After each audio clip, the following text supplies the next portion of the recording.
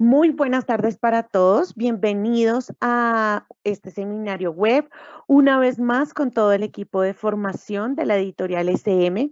Para mí es un placer darle la bienvenida a nuestros panelistas invitados del día de hoy. Catherine, buenas tardes, bienvenida, ¿cómo estás? Buenas tardes, André, muchas gracias. Muy bien, súper preparados para aprender sobre gamificación. Claro que sí. Y nuestro otro panelista también invitado, Giancarlo Sánchez. Jan, ¿cómo estás? Hola, André. Buenas tardes. Muy bien, contento por esta oportunidad de nuevamente compartir con nuestros asistentes este tema tan interesante. Claro que sí. Eh, les damos la bienvenida y un abrazo muy caluroso desde la distancia a todos nuestros asistentes el día de hoy. Esperamos sea una jornada maravillosa en la que todos podamos aprender, tanto ustedes de nosotros como nosotros de ustedes. Bueno, mi Cate, sin más ni, ni menos, demos inicio entonces a este seminario. Claro que sí, André, muchas gracias. Bueno, para explicarles un poquito la dinámica del seminario, al final vamos a dejar un espacio para preguntas. Entonces, ustedes pueden ir escribiendo sus preguntas en el panel de preguntas para que las podamos resolver al final de, de toda la parte del webinar porque este es un espacio muy, muy interesante. Muy bien, les vamos a contar de qué se trata. Nosotros vamos a trabajar, en este caso, la gamificación como forma de aprendizaje divertido y decidimos gamificar nuestro webinar o pues eh, implementar algunos principios de gamificación. En este caso, la misión de todos ustedes, si deciden aceptarla, es encontrar los stickers que tienen los tips de gamificación en el aula. Para hacerlo, deben superar los retos con el fin de reconocer las claves para gamificar una clase y es lo que nosotros queremos el día de hoy. Acá vamos a ver, esta es la insignia ganadora de los 50 puntos.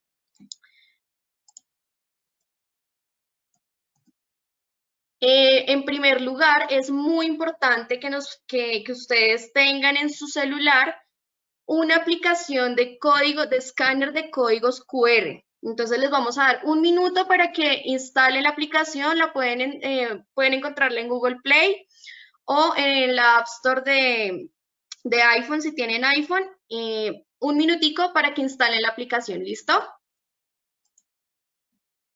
Sí, Cata, aprovecho para recomendar una que, es muy fácil de, utilizar, se llama QR, eh, QR Code Scanner o QR Code eh, Scanner, que es súper buena.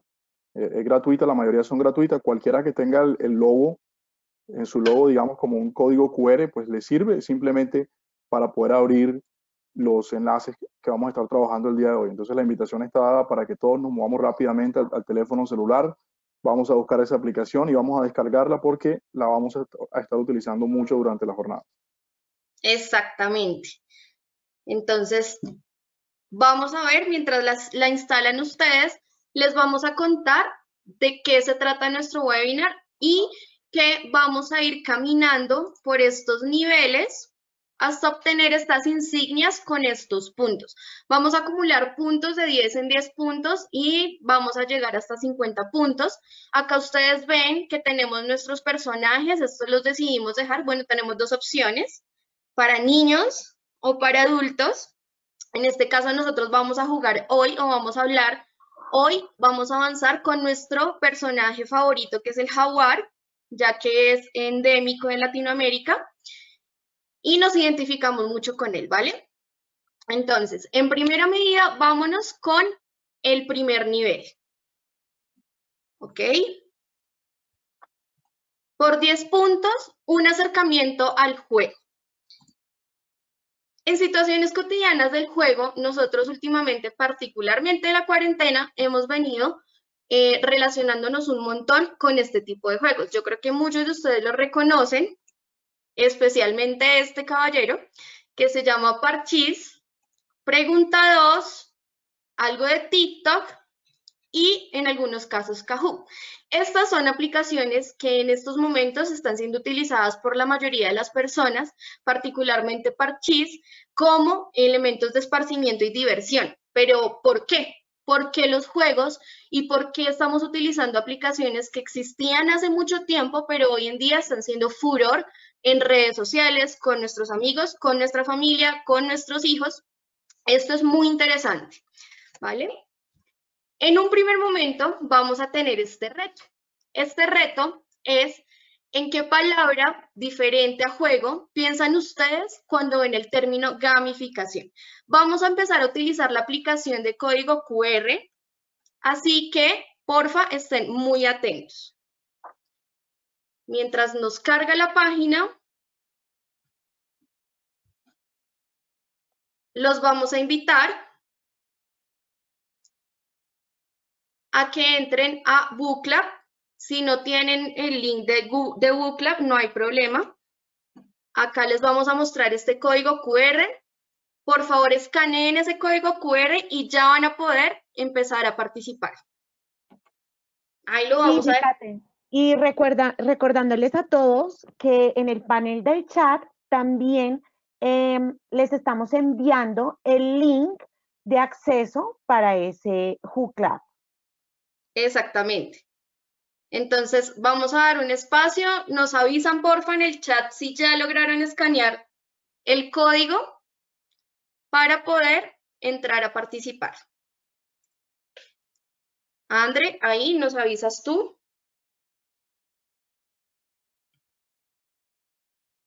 Sí, Mikate y Jan, ya están ingresando. El profesor Rodrigo Ospina, que nos está acompañando el día de hoy, ya pudo ingresar. El profesor Diego Ochoa también ya pudo ingresar. Eh, Romario Aranda también. Lina María Ochoa también. Eh, entonces, eh, yo creo que la mayoría ya están logrando ingresar con el link de acceso. Súper importante recordar que, lo que, lo que la palabra que vamos a escribir no puede ser la palabra juego tiene que ser una palabra completamente diferente. Distinta a juego, exactamente. Bueno, vamos a ver si empiezan a aparecer nuestras palabras acá. Los invitamos a todos a que participen. Si ya están en WooClub, el código de participación es este, ¿vale?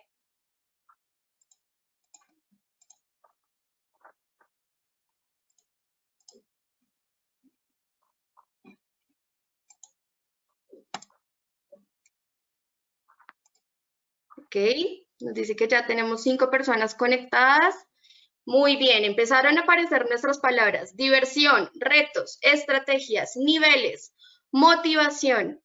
Muy bien, invitamos a las demás personas que están allí conectadas que pueden ingresar a Google y vamos a comenzar a ver estas palabras. Uy, súper. Motivación, interacción, alegría, súper, tecnología, muy bien. Tenemos ocho personas participando.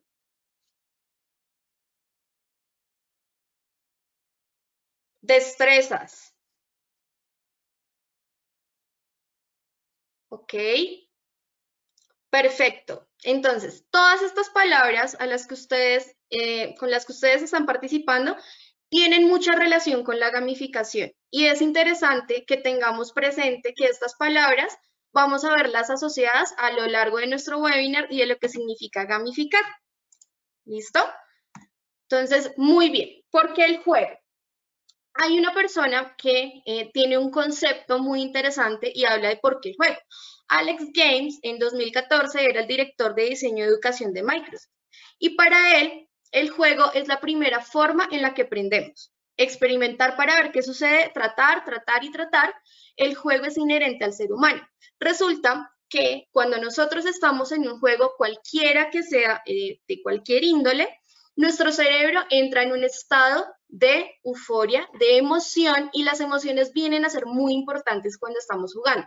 Esa es la parte que nos empieza a motivar. ¿Por qué? Porque cuando estamos juegos se genera una especie de ansiedad y en nuestro cerebro ocurren unas reacciones químicas que empiezan a liberar neurotransmisores que nos dan satisfacción cuando nosotros ganamos, que nos generan emociones o adrenalina. La adrenalina se genera y nos empieza a generar una emoción como de, ganas de continuar participando.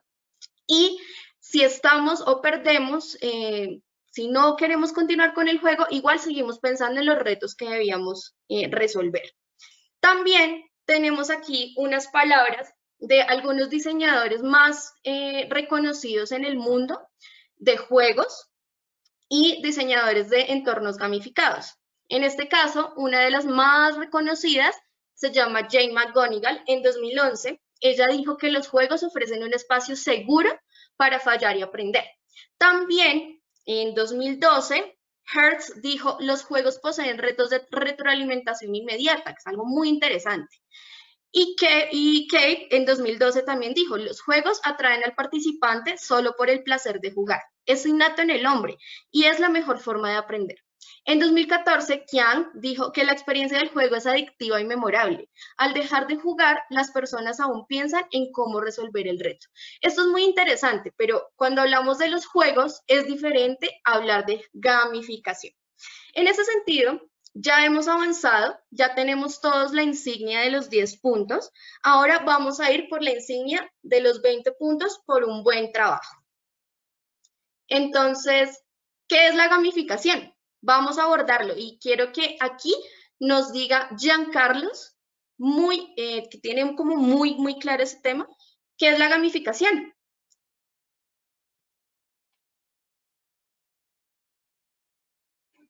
¿Jan? Gracias, Kate. ¿Me escuchan? Sí, ya. Sí, perfecto. Listo. No, el, te doy las gracias por esa, esa presentación previa y sobre todo conocer un poco lo que dicen autores expertos alrededor del tema de la gamificación, porque precisamente queremos comenzar diciendo qué no es la gamificación, porque hay muchos mitos alrededor del tema. Es, es, un tema relativamente reciente, que digamos de alguna manera ha entrado recientemente a la educación. La gamificación ya se viene utilizando como término hace mucho tiempo, de pronto en las escuelas de negocios, eh, incluso en museos, pero ha entrado recientemente a la, educación y puede haber generado mucha confusión. Entonces queremos decir el día de hoy como punto de partida que no es la gamificación. Y lo primero que vamos a decir es que la gamificación no es simplemente usar juegos en el salón de clase. Entonces ahí va como la primera frase clave que vamos a tener, digamos, la que vamos a tomar como atenta nota. Gamificación no es usar juegos en el salón de clases. Segundo, ¿qué tampoco es gamificación? No es crear competencias solamente por amor al arte, como simplemente porque quiero que haya una competencia en mi clase y que un, estudiante salga ganador en un concurso donde se agrupen en, eh, en equipos y hay un equipo ganador. Eso no es gamificación tampoco. Tampoco es gamificación simplemente dar puntos, insignias o algún tipo de recompensa a un estudiante porque hace bien su trabajo, porque hizo bien una actividad o porque quedó en primer lugar. Eso no es gamificar, eso, es un concepto completamente diferente. Tampoco es gamificar hacer como esa, eh, en, inglés lo conocemos como leaderboard, que es como esa, esa escala de quién es el mejor estudiante de la clase y lo ponemos afuera, este fue el que sacó las mejores calificaciones, entonces hay como una competencia interna y pensamos que por eso ya los estudiantes van a tener algún tipo de motivación. Y tampoco es gamificación jugar simplemente para entretenernos. Entonces ahora sí vamos a ver lo que es gamificación y para eso vamos a consultar un poco palabras eh, que han dado algunos expertos. Bueno, miren, acá queremos mostrarle esta, digamos, este cuadro comparativo muy sencillo, muy básico de las diferencias que existen entre gamificación y otros dos conceptos que son muy similares, pero que no son lo mismo. El primero, que tiene que ver con gamificación, dice que esto se trata de los principios y los elementos del juego y ahí, y ahí tenemos una primera palabra clave para motivar el aprendizaje. Entonces, hablamos de gamificación cuando traemos todos esos principios, todos, digamos, esas, esos elementos que nos ofrecen los juegos, lo que nos decía Kate al principio, que los juegos de alguna manera activan neurotransmisores que están asociados con la felicidad, con emociones positivas, con esa sensación de, de, de sentirnos vivos y que de alguna manera cuando cuando lo traemos al salón de clases generan o apoyan el proceso de aprendizaje. No es simplemente, no es propiamente utilizar el juego. Y eso de alguna manera representa un riesgo que seguramente más adelante lo vamos a conversar. Entonces, eso es gamificación. Existe un segundo concepto que es el de los juegos serios. Eh, quizás algunos habrán escuchado acerca de una metodología que se llama Lego Serious Play o, o de esas fichas Lego con las que nosotros solíamos o con las que muchos jugamos, por lo menos yo eh, en mi caso particular, jugué mucho con fichas de Lego y traté, me, me sentí como construyendo eh, edificios, puentes, diferentes tipos de estructuras. Bueno, eh, hay una metodología que se llama Lego Juego Serio, precisamente porque son juegos que tú puedes hacer. Aquí el concepto nos está diciendo que normalmente son basados en computadoras, pero también se pueden trasladar hacia la vida real y tienen fines educativos y formativos. Es decir, cuando el juego se convierte simplemente en ese canal para poder dar una información o dar algún tipo de formación, no necesariamente educación, que es lo que tratamos de, explicar en el concepto de gamificación. Y hay otro que es el de aprendizaje basado en juegos. Esto es simplemente utilizar un juego o un videojuego como medio para el aprendizaje. No es simplemente la motivación. Miren que la palabra clave en gamificación está sobre todo centrado en la motivación hacia el aprendizaje. El aprendizaje basado en juegos es cuando yo traigo esa herramienta y me va a permitir eh, de alguna manera ser utilizado como medio para aprendizaje. Puede ser incluso eh, utilizar una herramienta como WooClap, que la hemos utilizado en este momento nosotros para conocer lo que ustedes piensan acerca del término de gamificación. Yo lo puedo utilizar simplemente para una evaluación. Y eso no necesariamente ha gamificado o, o es considerado gamificación en términos generales, sino que hice una actividad de aprendizaje basada en un juego. Muy bien. Continuamos entonces con este señor, Carl M. Kapp. Eh, que nos, nos, arroja, este, este, personaje que estamos viendo acá es una de las personas reconocidas a nivel mundial como más conocedores de este tema de la gamificación. Y él nos da una primera aproximación en esta tarde de hoy sobre, sobre este tema. ¿Qué sí es la gamificación? Es el uso de los mecanismos, los mecanismos que tienen los juegos, lo que habíamos dicho previamente, son todos los elementos que lo vamos a ver más adelante. Lo que tiene que ver con la estética, el juego normalmente tiene, tiene una función de que nos invita o nos atrae a nosotros hacia, hacia jugarlo. De hecho, alguien que citaba, que citaba a Kate, que es Jane McGonigal, eh, en su libro muy famoso que se llama Reality is Broken, Why Games Make Us Better, que la realidad está como de alguna manera destruida o distorsionada y por qué los juegos nos hacen mejor. Ella dice algo muy interesante y cita a, a un filósofo que se llama Bernard Sutz, que dijo que cuando nosotros jugamos, el, juego como tal, es un intento voluntario de resolver un obstáculo innecesario, ¿verdad? Porque cuando tú entras a jugar, tú no, es, necesario eh, de alguna manera meterte en un juego y tratar de resolver como todos eh, los desafíos que se te presentan, pero es atractivo y es precisamente atractivo por esto que nos dice acá, por la estética del juego, también por todo lo que hay en el pensamiento digamos, del juego para atraer a las personas. Normalmente todo el significado ético, eh, épico, perdón, eh, todo eso de que hay como un sentido mayor que nosotros tenemos como, como un fin supremo, que nosotros tenemos que salvar el mundo, que tenemos que evitar, por ejemplo, que el virus se, se riegue y la pandemia mate muchas personas, en fin, todo eso incita a la acción y promueven el aprendizaje y también a resolver problemas. Entonces ahí nuevamente está la clave de lo que es gamificación. Por allá nos decían que era motivación, por acá nos están diciendo que busca promover el aprendizaje y busca resolver problemas. Eso nos dijo entonces el señor Carl M. Kapp de lo que sí es gamificación. Ahí está. Y también queremos compartir con ustedes, sobre todo profes, cuando ya nosotros, y, y parte del trabajo que nos gusta hacer acá en estos espacios de conversación, no es solamente quedarnos con esos conceptos, sino empezar también a traer elementos que nos pueden servir a nosotros para empezar a gamificar nuestra práctica educativa, lo que hacemos en nuestro salón de clases o lo que hacemos el día de hoy en nuestras teleclases con nuestros estudiantes. Y acá queremos citar esta, esta pirámide que fue propuesta por este señor Kevin Berbach, eh, es un apellido alemán. El señor dice que la gamificación definitivamente es el uso de, los, de los elementos del juego y técnicas de diseño de juegos en contextos ajenos al juego. En este caso, un contexto ajeno al juego tradicionalmente ha sido la educación.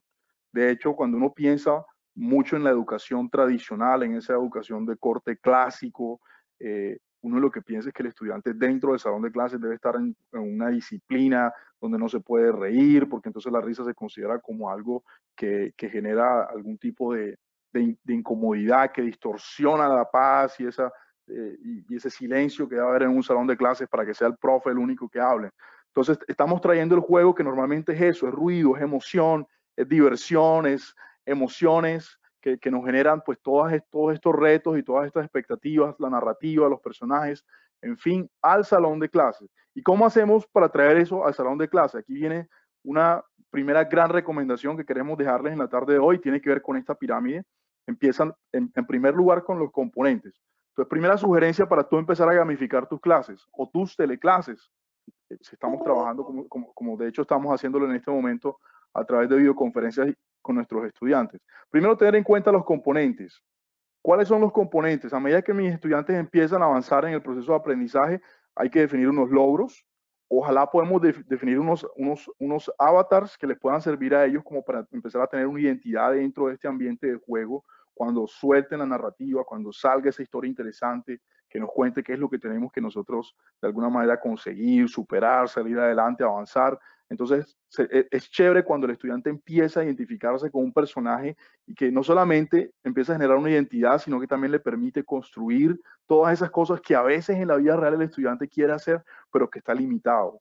Entonces, e, eso, ese tema del avatar resulta muy interesante. Los niveles, que vienen siendo los niveles de complejidad por los cuales el estudiante va a transitar en ese proceso de aprendizaje.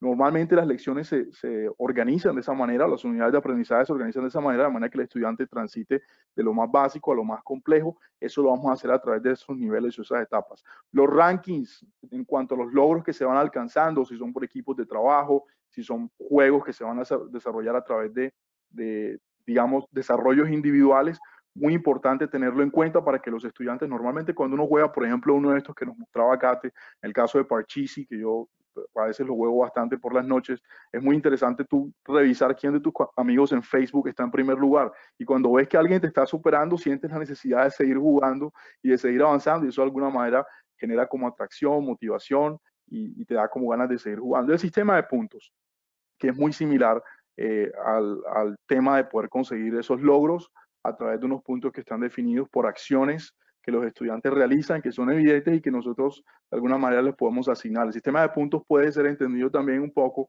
como lo que nosotros normalmente llamamos calificación. En la educación tradicional, el estudiante recibe una calificación que puede ser aprobado o, no aprobado, o puede ser un número del 1 al 5, del 1 al 10, del 1 al 100, que normalmente no significa nada, nada más que hizo bien su trabajo. Acá en este sistema de puntos, el estudiante va acumulando eso y de alguna manera eso le, permite eh, ir revisando su desempeño frente a ese logro mayor. Entonces, ahí están los componentes, lo primero que debemos tener en cuenta, lo que está en la base para empezar a gamificar nuestras lecciones, nuestra práctica educativa.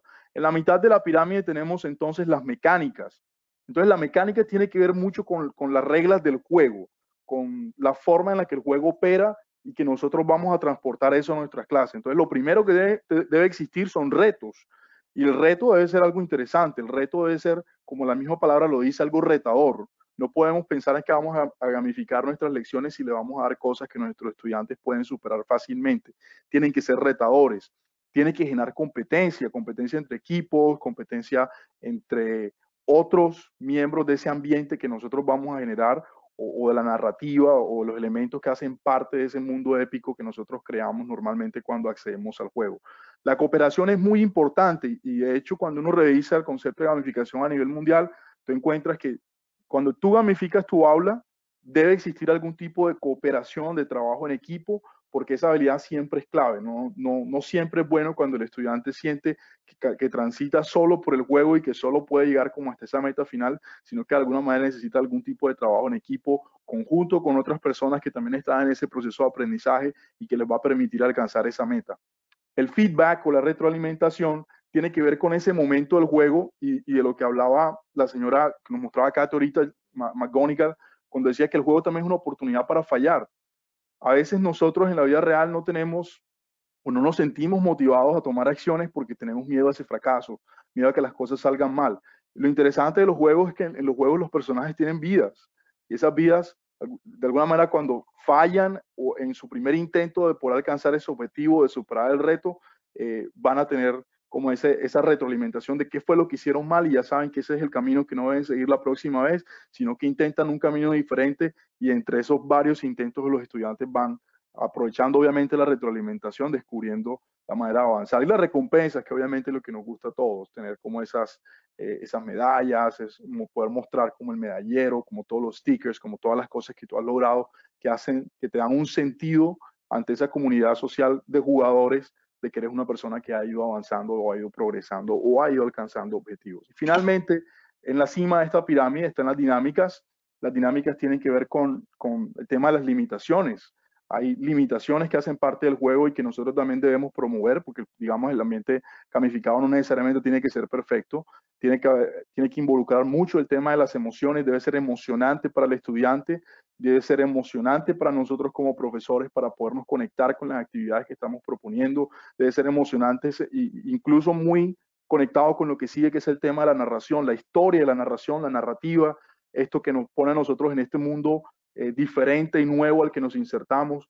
Muchos de los que seguramente habrán sido jugadores saben, yo por ejemplo de, de, de niño fui muy jugador de Mario Bros y yo me conectaba mucho con la narrativa de tener que rescatar a la princesa, de llegar a los castillos, de poder, digamos, conseguir como ese objetivo. Incluso cuando tú llegabas al castillo y sabías que la princesa no estaba ahí, era un logro llegar y bajar la banderita, por ejemplo, en el Mario Bros clásico. Hay una narrativa, hay una historia, siempre hay una narración que eh, en la medida que alcanzas el objetivo, pues te conecta también con ese tema de las emociones, la progresión, obviamente conectado con el tema de ir alcanzando esos niveles, de ir avanzando, debe ser progresivo, debe ser continuo. Obviamente llega a un punto final, pero el estudiante debe ser capaz de poder reconocer como todo ese camino, todo ese proceso eh, por el cual transitó para poder llegar ahí y las relaciones entre los diferentes elementos que hacen parte del entorno gamificado.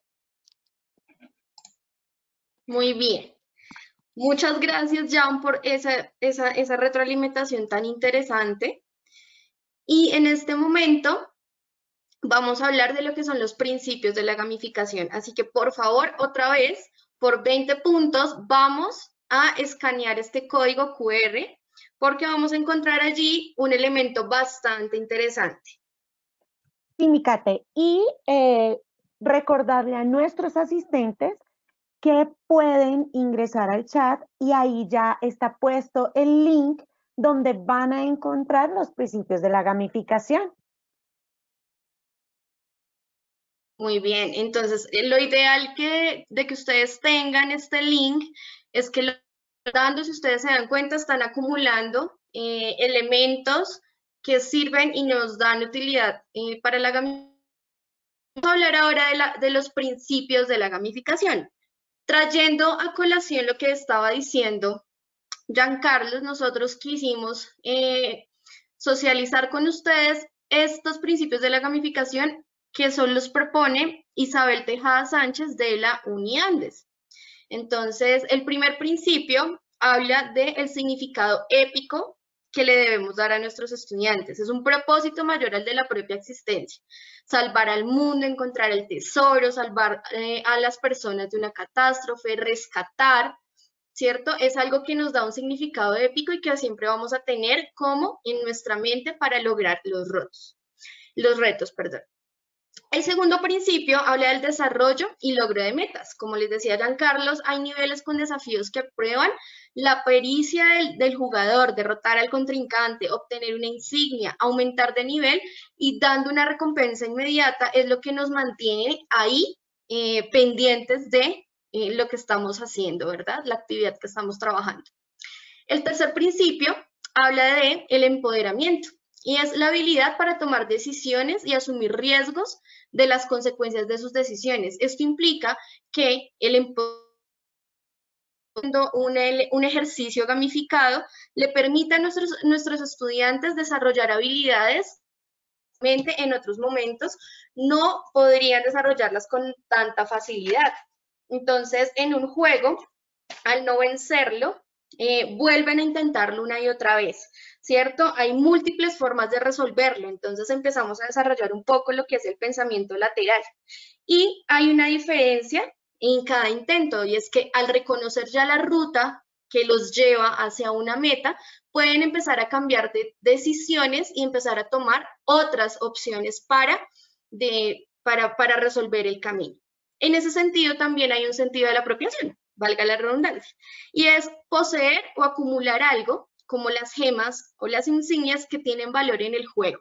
En este caso, nosotros a ustedes les estamos dando unas insignias y cada vez que vamos avanzando en lo que es la gamificación, les estamos dando algunos elementos que ustedes pueden ir guardando. En este caso, es información. Y también un quinto punto es el sentido de la curiosidad. Debe ser imprescindible mantenerlos intrigados, mantenerlos allí, con ganas de saber más y más y eso les permite desarrollar nuevos conocimientos, nuevas habilidades y transformar actitudes. ¿Qué significa esto? Que la gamificación por sí misma entra a ser una gran herramienta para el desarrollo de aprendizajes completos. ¿Listo? Esperamos que ya hayan logrado entrar a, este, a esta, esta infografía que la realizamos con Genially y que la puedan tener en sus computadores. ¿Listo? Entonces, muy bien. Vamos a continuar con consejos para gamificar tu clase. Estos son unos tips que nosotros, eh, al recoger toda esta información, dijimos, bueno, es interesante darles a los profes estos consejos para que puedan gamificar su clase. El primero es las insignias. Tenemos, tenemos que diseñar niveles y metas a corto plazo a través del camino con retroalimentación inmediata y recompensas, ¿cierto? Los jugadores deben promover el sentido de, pertenencia con un propósito, por eso los avatars, por eso acá, por ejemplo, en este webinar estamos trabajando con el jaguar, el mono o los simios y un lobo, ¿verdad? Entonces, elegimos con el que más nos identificamos y eso también lo podemos dar a nuestros estudiantes. Tenemos los niveles. Podemos articular cada lección con una estrategia más amplia. Habilidades que deben dominar para avanzar e incrementar la complejidad del contenido. Entonces, primero tenemos que pasar por unos niveles para lograr los más altos y lo que hemos aprendido antes nos va a servir para solucionar los retos más adelante. Tenemos que tener presentes también los intereses, indagar con ellos qué es lo que les interesa, qué les atención, cuáles son los temas que a ellos más les gusta, porque resulta que cuando nosotros logramos desarrollar juegos o entornos gamificados en nuestras clases, que permitan a los estudiantes ya, eh, meterse y activarse, como quien dice en el cuento, pues los vamos a tener mucho más eh, concentrados en lo que nosotros queremos. Y la narrativa, mantenerlos intrigados, no les des todas las respuestas enseguida, motívalos con una historia, conéctalos con un significado épico y eso tiene que ver con los niveles, con los jugadores y con las insignias, ¿vale? Entonces, encontrar esos retos y encontrar una pista, pero que esa pista también les dé una recompensa inmediata, es lo que nos va a mantener a ellos allí intrigados y con ganas de más. Muy bien. En ese sentido, vamos a pasar al nivel de trabajo individual es muy importante que acá tengamos presente que este es el de los 30 puntos. Y vamos por ello. Aquí vamos a hacer una entrevista con nuestras expertas de SM en entornos gamificados. Una de ellas es Cindy Roa Devia, ella es editora de lenguaje y literatura de SM. Y también nos acompaña Joana Duarte, que es coordinadora de formación eh, de lenguaje y literatura. Bienvenidas, Joana, y bienvenida, Cindy, a nuestro webinar sobre gamificación. Hola, muy buenas tardes a todos. Eh, nos Hola, encanta estar conversando con ustedes. Hola, sí. Hola, Milla, ¿cómo estás? Muy bien. A nosotros nos encanta que ustedes se encuentren aquí y están aquí por una razón. Resulta que SM tiene su propio entorno gamificado específicamente para lenguaje y literatura. Aquí están dos personas que son cruciales para la implementación de ese entorno gamificado con nuestros profes y nuestros estudiantes y por eso nosotros queremos hacerles unas preguntas, ¿verdad, Jan? Sí, claro. Creemos que es una excelente oportunidad de poder compartir con los asistentes acerca y obviamente de la voz de dos expertas en este tema, de cómo funciona este tema de la gamificación. Exactamente. Y bueno, la primera pregunta que quiero hacerle es a Cindy, que es nuestra editora eh, de lenguaje, también es lectora empedernida. Es, ¿cómo ha sido tu experiencia con la creación de contenidos para Loran y en este caso pues para el entorno gamificado de Loran? Claro que sí, un saludo grandísimo a todos los asistentes que nos acompañan en esta tarde me encanta que podamos seguir esta reflexión sobre todas estas nuevas dinámicas en el aula. Y bueno, el proceso que nos llevó a lo que hoy es Loran fue una reflexión y una apuesta con todos nuestros hermanos de SM en España, en México, en Chile, en Perú. Fue una gran apuesta global y una reflexión que hicimos de la mano de todos estos países pensando en cómo traer la gamificación al aula y cómo comenzar a aportar a la labor docente, eh, cómo enriquecer con estas nuevas dinámicas y con estas nuevas tecnologías desde dos frentes muy puntuales que como docentes y como apasionados por la educación hemos identificado que son el trabajo desde la literatura y el trabajo pues desde las tipologías textuales.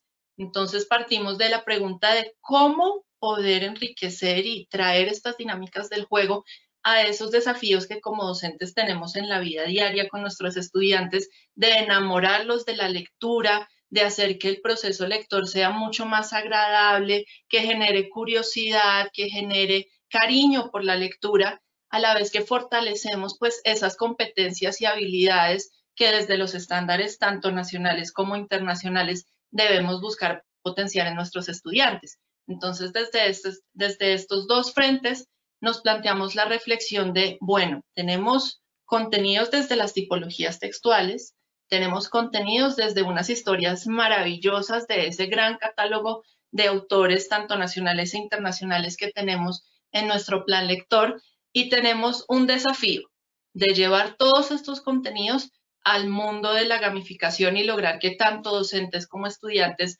se enamoren de esos contenidos. Por esta razón, reunimos a un grupo de expertos desde la gamificación, pero también desde la literatura y desde las tipologías textuales del área del lenguaje para realizar este, este proyecto que hoy ya pues se llama Loran y tiene, y tiene todo un montón de sorpresas que pues nuestros docentes poco a poco pueden llevar al aula en las clases y lograr pues estas características que hemos visto a lo largo de la charla. Espectacular. Eso es una, es una de nuestras experiencias que, que nos enorgullece y precisamente en el equipo de formación Joana ha sido la encargada de desarrollar e implementar este, este entorno gamificado con los docentes. Por esa razón está aquí. Joana, ¿cómo ha sido tu experiencia en realidad ya implementando el entorno gamificado en lo que estás desarrollando, porque en estos momentos estás desarrollando un curso virtual para docentes Loran y eh, el curso como tal está gamificado. Entonces, ah, cuéntanos a nosotros tu experiencia. Bueno, como lo menciona Cindy, Loran es, es un entorno que además de querer desarrollar el dulce placer por la lectura, desarrollar habilidades de comprensión lectora según competencias PISA, pues cumple con esos principios que ahorita pues ya nos explicaba, eh, son propios de un entorno gamificado. Primero tiene una historia, entonces hay un capitán Jobs que hace muchas lunas se escapó. Eh, él fue por grandes historias y él necesita que esas grandes historias lleguen a tierra firme y son grandes aventureros los que hacen que lleguen a tierra firme. Entonces prácticamente la historia va recogiendo a literatos, a editores en cada una de esas personificaciones. Loran también cuenta con unos personajes. El capitán Jobs es un fantasma que siempre va guiando en la travesía por un archipiélago y eh, el estudiante y aún el profesor, que es el Gamer Master, entonces es el profesor, el super jugador de todos los jugadores, eh, se, se, selecciona una personalidad tan pronto ingresa al entorno, que es lo que hablábamos pues del sentido épico, eh, ellos tienen que ir a, resolver o sortear peligros, desafíos, misiones. Y bueno, pues en cuanto al curso, eh, cada, cada cosita es con un lenguaje.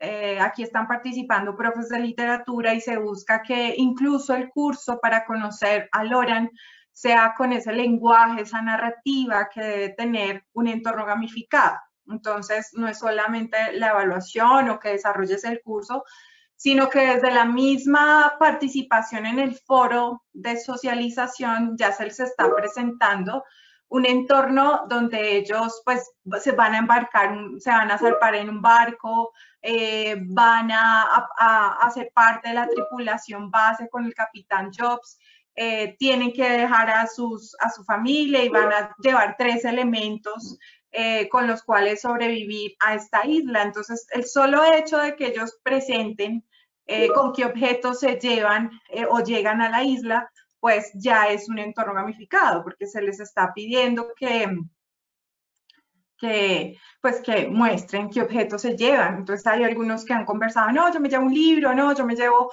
un cuaderno, yo me llevo la foto familiar, yo me llevo eh, una carpa, yo me llevo ropa cómoda. Entonces, eh, aún si pienso en mis estudiantes, ya como estudiantes jóvenes y niños, que entran a la isla, es necesario que yo como profesor, porque el entorno está gamificado, el entorno ya es prácticamente una plataforma y podría funcionar perfectamente sola, pero la idea es que eh, como ya hay unos escenarios automatizados, yo como profesor anime y por eso yo soy el jugador máster. Entonces, en la gamificación es importante que yo como profesor también quiera jugar que el lenguaje que uso es de, es de juego y, y, es de animación y es de diversión, pero si yo como profesor no le veo sentido al juego, si no me divierto en la forma como construyo las narrativas para generar un foro, eh, para hacer una pregunta, pues esto prácticamente, la plataforma va a funcionar, pero no vamos a encontrar la motivación que es el eje clave de la gamificación.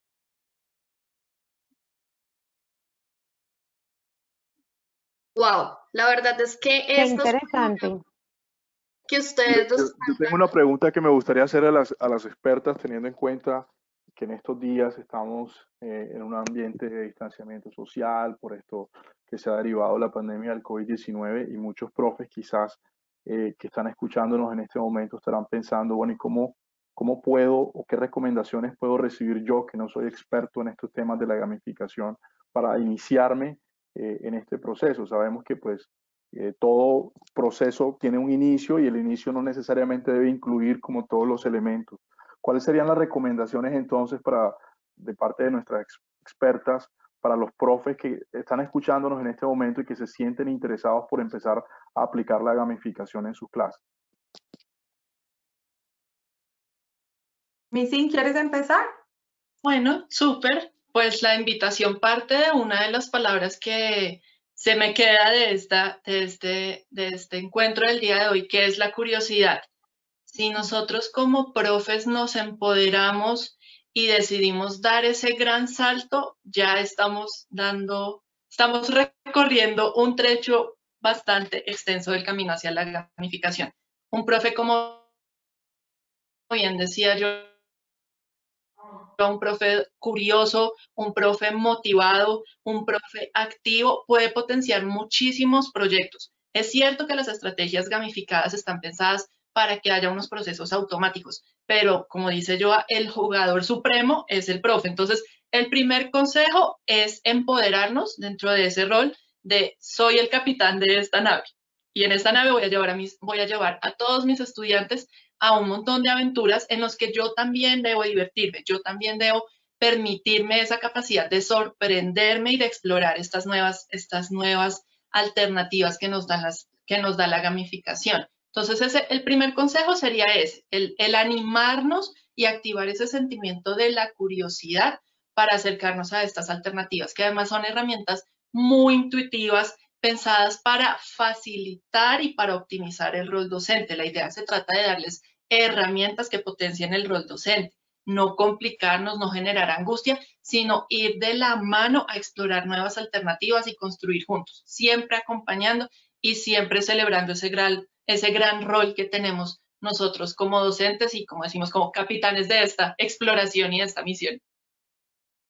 Bueno, en cuanto a mis consejos para los profes que hoy nos acompañan, eh, aparte de los que ya ha mencionado, sí, pues yo les sugeriría que piensen en una situación. Eh, cada cosa que nosotros vemos alrededor de nuestra casa tiene una historia, una narrativa. Entonces, eh, no sé, pensemos de pronto en esos objetos que hemos dejado de usar, ya pueden tener una narrativa. El propio virus, la propia COVID-19, ya podemos inventarnos una narrativa. Y eh, esa narrativa, pues desde luego va a tener un sentido épico. Eh, dos, vamos a considerar los jugadores potenciales que tenemos dentro del curso. Entonces hay chicos que son mucho más líderes, hay chicos que pueden ser mucho más competitivos, puedo encontrar chicos que nunca hablaban en clase, pero en el escenario de gamificación la pasan súper bien porque es la manera en cómo se sienten parte del aula, se sienten parte de un equipo. Entonces, piensen en todas las motivaciones de juego que pueden tener sus estudiantes y traten de pronto como de organizar grupos de esos jugadores. Entonces, como les venía diciendo, hay jugadores líderes, hay jugadores competitivos, hay otros que simplemente por el solo hecho de ayudar al otro, arrastrarlo, ya se sienten felices. Entonces, pensando en ese tipo de jugadores y aún en las inteligencias múltiples, yo puedo, yo puedo pedirle a mis estudiantes que inventen un avatar, que se creen avatar, que se inventen personajes. Es decir, la gamificación no solamente tiene que ser liderazgo del profesor, los chicos son súper creativos y ellos dejan volar muchísimo la imaginación. Entonces, ármese de un grupito, eh, aprovechando todas esas inteligencias múltiples que tienen los chicos y algunos te ayudarán a diseñar los avatars, los personajes, otros te ayudarán a construir la narrativa, otros te ayudarán a gestionar eh, eh, los espacios. Entonces, creo que, potencial es lo que hay. Ese es, ese es el segundo pues, consejo. Y el tercero, lo mencionó Cindy, créase usted un jugador, créase usted el más animador, el más niño, y que salga a flor de piel ese Peter Pan que todos tenemos en el corazón.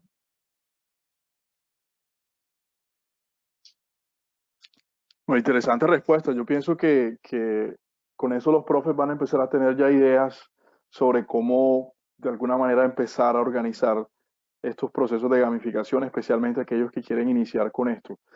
Algo que de pronto en este momento puede, y tiene mucho que ver con lo que ustedes estaban diciendo, ¿qué tipo de, herramientas? Yo creo que hay, un temor generalizado de si uno tiene que ser experto en temas de diseño, eh, experto de pronto en el manejo de, herramientas complejas de programación. Yo creo que hay profes que, en este momento pueden sentir que entrar en lo de gamificación implica un poco eso. ¿Hay alguna herramienta, algo, digamos, que ustedes puedan recomendarles, algún tipo de aplicación que crean ustedes que también de alguna forma se puede incluir en estos procesos para iniciar a hacer gamificación en el aula? Bueno, pues yo podría sugerir dos. Si hasta ahorita estamos cogiéndole la caña herramientas digitales, un Excel. Un Excel donde usted se piense las misiones, se piense los personajes, se piense los niveles, eh, se piense mm, eh, todos esos principios que hemos venido hablando y esos consejos que ustedes nos acaban de dar. Si no, hay una plantilla que se llama Canvas. No es la herramienta Canvas en la cual nosotros hacemos infografías podemos hacer póster, no. Es un formato que se llama así Canvas, donde yo visualizo todas las herramientas que voy a necesitar para el juego. Eh, donde puedo pensar entonces eh, si voy a usar monedas, si voy a usar tesoros, si voy a usar insignias, algo que a mí me encanta construir como profesora son las insignias y es como la forma motivacional. Entonces, en, el, curso Loran estamos desarrollando insignias y las insignias es la manera como tú retroalimentas a, las personas que participan de este curso, pero también como retroalimentas a los jugadores. Entonces, aquí la retroalimentación es inmediata y, por ejemplo, eres muy valiente, te has ganado la insignia de Educa People, de Educaman, de Educa Woman, eh, eres social, entonces fue la persona que participó en el café social, construyó sus tres objetos, entonces ya se ganó su insignia. Entonces, pensar en las insignias, en la forma en cómo vas a reconocer a tus estudiantes también es importante. Entonces, creo que eh, un Excel sirve para empezar, un Canva también sirve y pensar muchísimo en la forma como retroalimentas. Algo de la gamificación clave es que ellos sientan que están siendo recompensados. Tú lo dijiste, que sientan que están siendo reconocidos, así sea el chico que no hablaba nunca, ¿sí? Que nunca participaba, que de pronto no le iba muy bien con la historia, con las sociales, con la matemática, pero en el juego le ha ido súper bien, está rankeando, está en el puesto número uno. Eso genera mucha motivación, eso es algo que el estudiante dice, vale la pena, o sea, mi profe me está dando una retroalimentación, me está diciendo que soy valiente, que me he ganado la insignia de sociable, que me he ganado la insignia de luchador, de victorioso, de explorador, pues eso ya llena el corazón muchísimo. Y pues el aprendizaje es, es genial, es divertido. Espectacular. La verdad es que yo estoy súper eh, atónita, estoy súper concentrada escuchándolas y también me parece muy interesante que en este punto de, lo que vamos del webinar, eh, Andrea nos haga un espacio de preguntas, porque me está diciendo que hay muchas preguntas ah, de nuestro público, entonces aprovechar para oh que las Oh my God. Tranquilas, tranquilas que todo está bajo control, no se me preocupen. bueno, esta pregunta la vamos a empezar en orden. La profesora Julie hace una pregunta inicial y es, ¿qué tipos de juegos puedo utilizar para mis clases remotas de inglés con niños de tres años? Bueno, hay que buscarlos.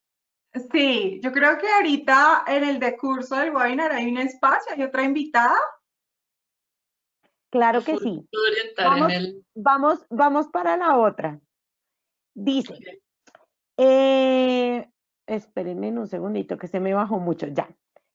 La gamificación, ah, primero, eh, que por favor aclaremos porque hay muchos asistentes que no conocen Loran, no entendieron como tal, eh, digamos, eh, qué es Loran por parte de la editorial SM, ese producto, y querían saber qué es. Y segundo, Em, hay una profe, Ángela, que nos pregunta y es, la gamificación es una inducción a través de diversas pistas en la que puede llegarse a la creación de un concepto histórico, geográfico, matemático y o de redacción. Claro que sí. Ahora con esas. Cindy, te cedo la palabra para que le cuentes un poquito a nuestros participantes, que es Loran, tú eh, ¿Quién más que tú, que ha sido como, como esa, eh, en tus manos nació allí y obviamente con todo un equipo de España y México, pero cuéntales porque tú prácticamente has sido artífice de, de esta maravillosa isla. Y ya entonces vamos conversando al respecto. Claro que sí, nosotros nos gusta referirnos como aventureros Loran, porque estuvimos detrás de esa construcción. Les cuento, Loran es nuestra estrategia lectora conformada por todo un mundo, un archipiélago, el archipiélago Loran.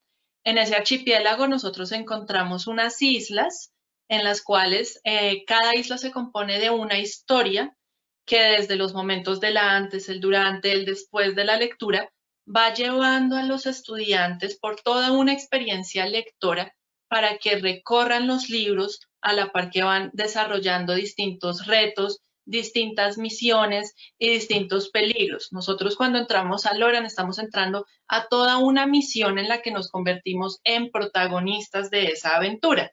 Como les están mostrando en este momento en la pantalla, siempre nos va a acompañar el capitán Jobs, quien nos introduce a ese mundo, a ese gran archipiélago que decidió explorar hace muchas lunas, como nos comentaba anteriormente Joa.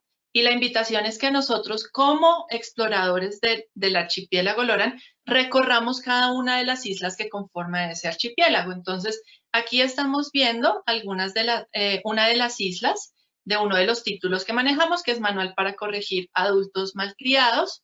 Como pueden ver, la isla tiene distintos peligros, tiene un diseño muy llamativo. Nosotros vamos a encontrar islas árticas, islas desérticas, islas jurásicas, que cada isla es un mundo totalmente diferente para que lo puedan explorar.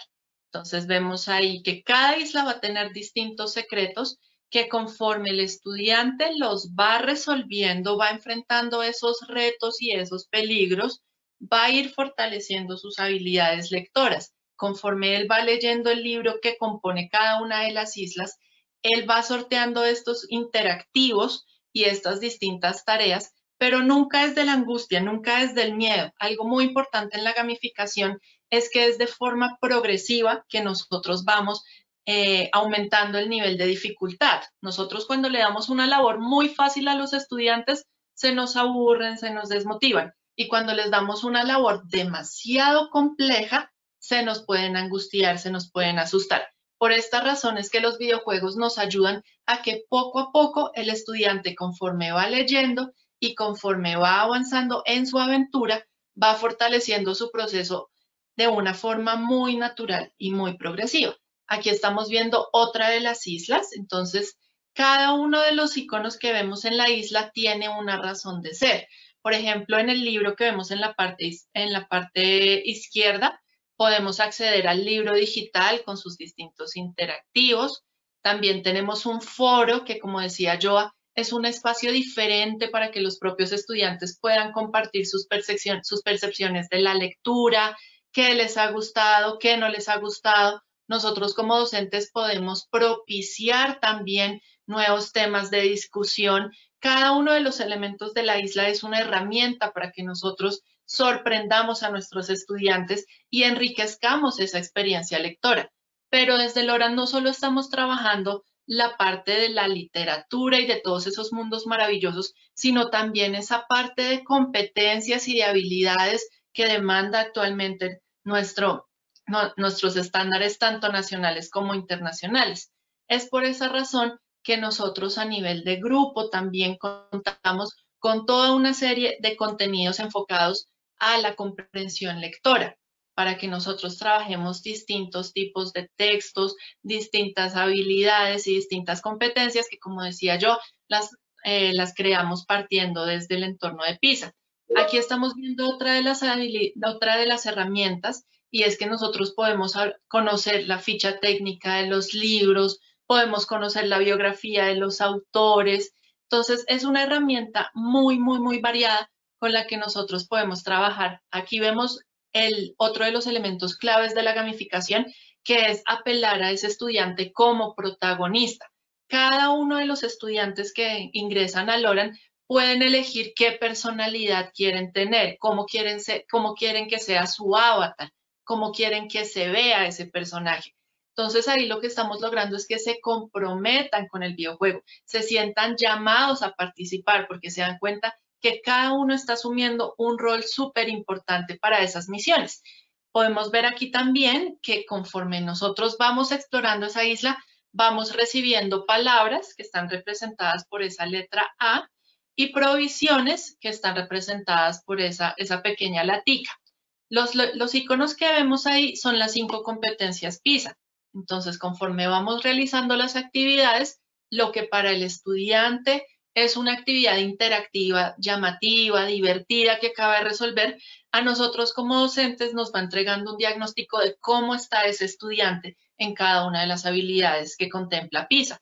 Entonces es un proceso en el que los estudiantes van jugando y nosotros como profes a la par podemos ir monitoreando y midiendo el proceso.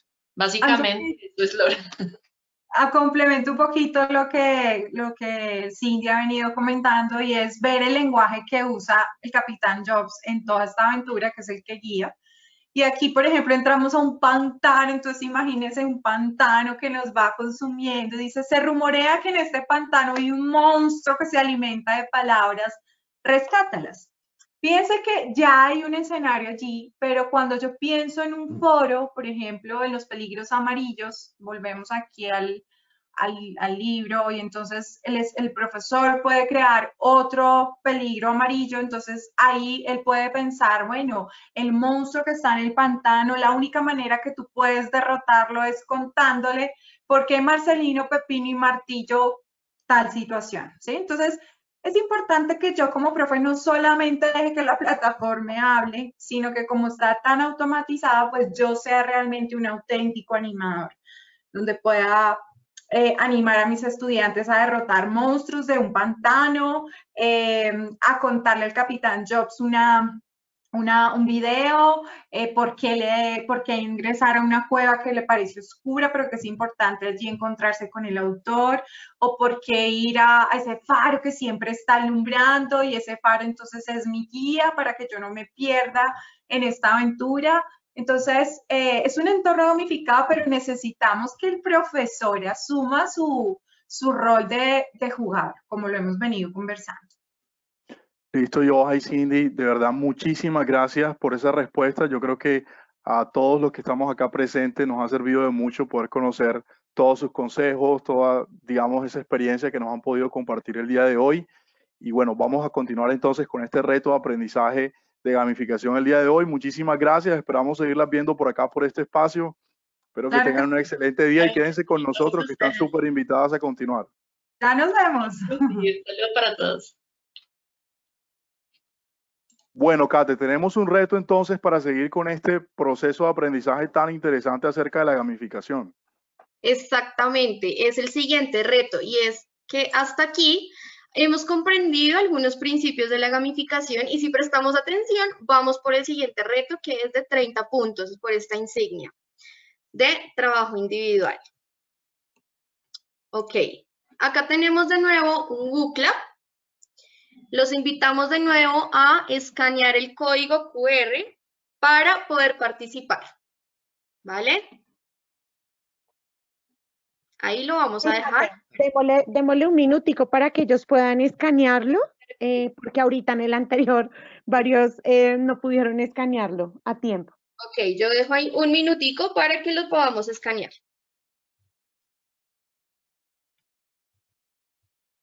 Bueno, eh, mientras quisiera hacerles una pregunta a nuestros panelistas y ustedes hablan algo muy importante sobre la motivación y todas estas situaciones eh, que se generan en este tipo de entornos eh, gamificables. Pero digamos, hay, una, hay una pregunta muy importante que nos lanzó el profe Diego Ochoa y era, ¿cómo podemos manejar, por ejemplo, la frustración cuando los estudiantes no logran alcanzar de pronto alguno de los retos que los va a llevar a la victoria dentro del entorno gamificable. Bueno, ahí me parece interesante abordar que este es uno de los principios del juego, en que el, eh, el, entorno gamificado puede estar por niveles y al no llegar a cumplir el nivel, pues puede volver a comenzar y volver a intentarlo hasta lograrlo. Entonces, en este sentido, los juegos, este principio de los juegos, es lo que nos permite trabajar con ellos la tolerancia al fracaso y mejor aún retarlos. Cuando los retamos es cuando nosotros estamos cambiando, modificando las formas en las que ellos aprenden. Entonces, la idea de esto es tener presente que siempre pueden volver a comenzar que no es un tema de eh, una sola línea y una sola dirección, sino que podemos eh, volver a comenzar las veces que queramos para lograr aprender, ¿vale? Muy bien. Acá, bueno, acá teníamos 10 participantes. Sí, recordarle a nuestros asistentes, Mikate, que en el chat también ya está escrito el link por si de pronto no pudieron escanear el código QR, pueden ingresar también por ese link. Ok, acá igual lo vuelvo a dejar para que lo tengamos presente. Muy bien.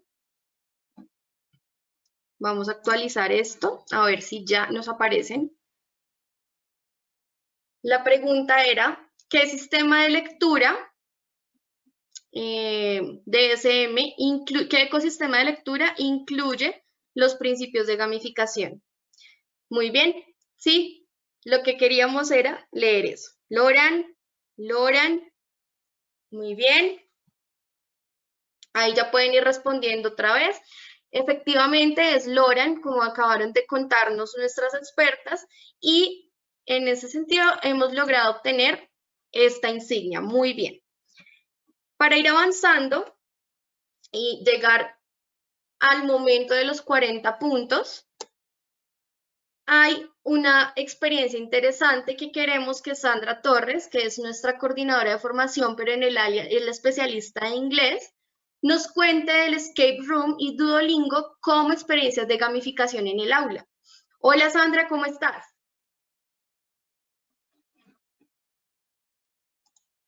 Hola Kate, hola a todos, muchas gracias por la invitación. Em, Muchas gracias a, los profes que nos están acompañando el día de hoy por estar aquí con nosotros. Y pues nada, la idea es hablar un poquito acerca de, como decía Kate, del escape room y Duolingo.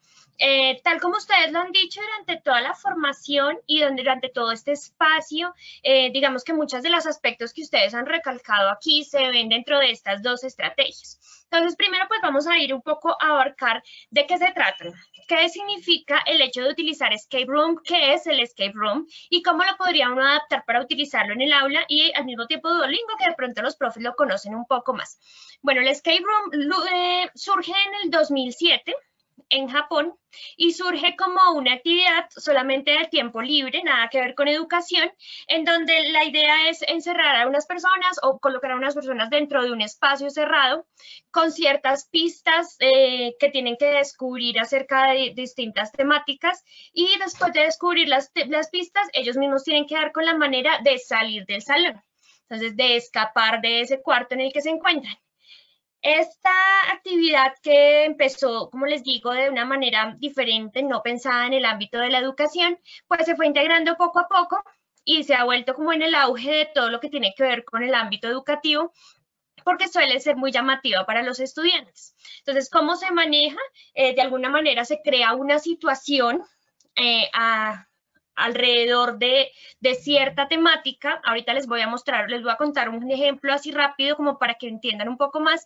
Y se colocan ciertas pistas para que los chicos o las personas que estén en la actividad vayan llegando a partir de la respuesta de las pistas a descubrir cómo lograr escapar de ese salón.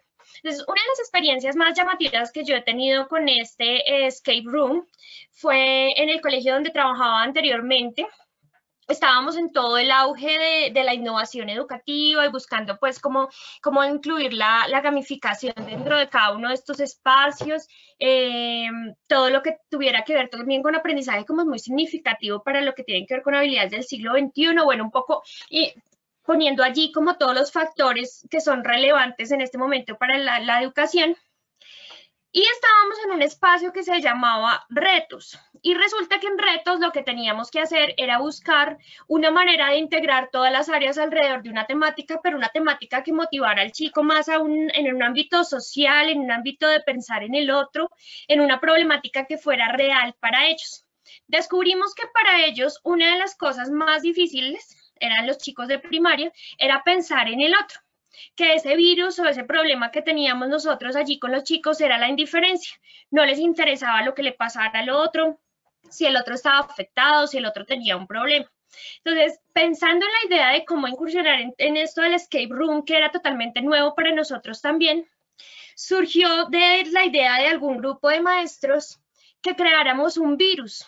Entonces, el virus eh, iba a ser, iba a contagiar a todos los, los estudiantes eh, y los íbamos a, meter como en la película de que los estaba contagiando, de que necesitaban buscar una cura para liberarse de ese virus y a través de ciertas tareas ellos tendrían que llegar al resultado de cuál era el virus. Nuestro virus que pensamos en esa época fue precisamente la indiferencia.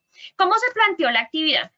Los chicos iban por grupos al laboratorio de química y allí, bueno, el profesor estaba dando su clase común y corriente, estaba explicando, cuando de repente derramaba algo en el suelo y entonces les decía a los chicos, no, terrible, se, se dispersó un virus que es muy peligroso para la raza humana, este, todos los que estábamos aquí ya estamos contaminados. Bueno, eh, las reacciones de los chicos a modo de, de anécdota les cuento que, que, fue muy curioso porque incluso algunos llegaron a casa asustadísimos a decirle a los papás que los había contagiado un virus.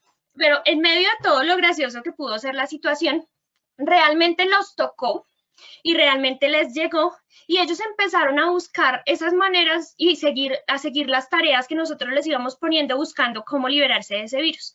Y al mismo tiempo, al final ellos lograron llegar a ese resultado de a decir, ah, ok, el virus era la indiferencia, porque los llevamos con ciertas pistas, con ciertas tareas a descubrir eso que lo que les faltaba era pensar en el otro. Y luego pues ya generamos una cura para la indiferencia y eso ya siguió una campaña mucho más grande porque el proyecto pues era, era un proyecto para todo el periodo. Pero digamos que en un primer momento ese escape room que funcionó en el, en el primer instante de cómo salir de esa aula donde todos estaban contaminando, pues eh, fue muy llamativo para ellos, tiene todos los principios de la gamificación, ellos pueden ir por niveles llegando y alcanzando como cada vez más a, conseguir un objetivo, hay mucha motivación porque de alguna manera estás fuera de lo habitual, fuera de la realidad que se mueve alrededor de siempre de, de, completa aquí o llena aquí o lee aquí, sino que estás como en algo diferente y la motivación es intrínseca, la tienes tú. Tú quieres saber qué es lo que está pasando puntualmente, eh, cómo puedes conseguir una respuesta y eso en definitiva pues los lleva mucho más allá. No sé si hasta ahí, Kate o mis compañeros y los, los profes tenemos alguna pregunta, alguna duda, ¿cómo les parece? ¿Cómo lo piensan ustedes que podrían adaptarlo a sus colegios? Claro, es muy importante. Yo sí también tengo una pregunta y es, eh, ¿qué pasa con el escape room o qué, cuáles son esas posibilidades que tenemos para no utilizar herramientas digitales necesariamente? ¿Cierto? Porque muchas veces decimos tenemos limitaciones como, eh, como las herramientas digitales y en este, en este caso el escape room, cómo nos puede funcionar para utilizarlo sin esas herramientas. Ok, bueno, en estos momentos, digamos que de cuarentena, pues digamos que nos, nos toca un poco ligarnos a todo lo que tiene que ver con herramientas tecnológicas de alguna, de alguna forma, aunque podríamos buscar de pronto eh, maneras de cómo utilizar los elementos que tenemos en casa, pero pues eh, digamos que es un poco más complejo para manejar el escape room. Pero cuando la situación haya normalizado, cuando trabajamos en las instituciones, cuando estamos con los chicos en el aula, realmente no necesitamos eh, ir más allá de, de, de lo que tenemos ahí en el espacio cerrado. Entonces, un poco volviendo a la experiencia que les estaba contando que hicimos ese día, teníamos unas pistas, los papelitos, ellos tenían que leer un texto, completar otro, o sea, son muchas actividades que pueden hacer ellos y que pueden buscar ellos herramientas sin necesidad de ir más allá como a la parte tecnológica. ¿Qué es interesante alrededor de todo lo que tiene que ver con el escape room en cuanto a habilidades? Primero hay, hay una manera de desarrollar la creatividad muy grande, porque de alguna manera lo que los está invitando es a eso, a busca tú la solución a este problema, tienes este enigma, tienes esta situación y tienes que salir de ella, tienes que buscar las herramientas tú.